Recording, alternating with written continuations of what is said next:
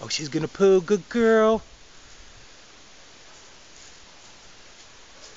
Good girl, puppy. Good Ember. Yeah, but there was no straining. They said to watch for that. I would expect that to be completely normal for all the trauma she's been through. Yeah. But it's you know it's not explosive or anything. No. So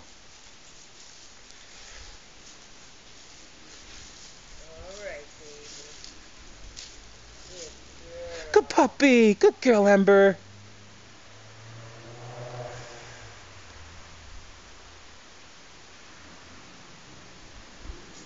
Oh, I guess that's probably it, huh? That was good enough. That sure was.